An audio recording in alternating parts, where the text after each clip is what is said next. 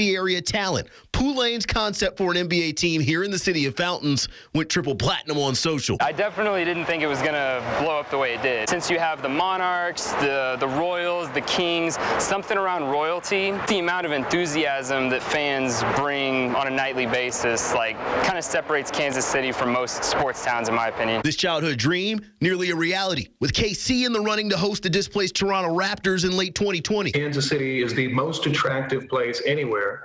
Uh, if the Toronto Toronto Raptors have to play elsewhere that they can pick in the United States of America. You look at the players we've produced from Landry Shamet to Willie Cauley Stein, you know, we've, and then we've got Ochai coming up. Spurned by WNBA expansion just this month, this KC designer keeping hoop hopes alive. We should have an NBA team. I feel like the culture here has kind of grown a lot in terms of basketball. In KC Mo. Aaron Ladd, KSHB 41 Sports.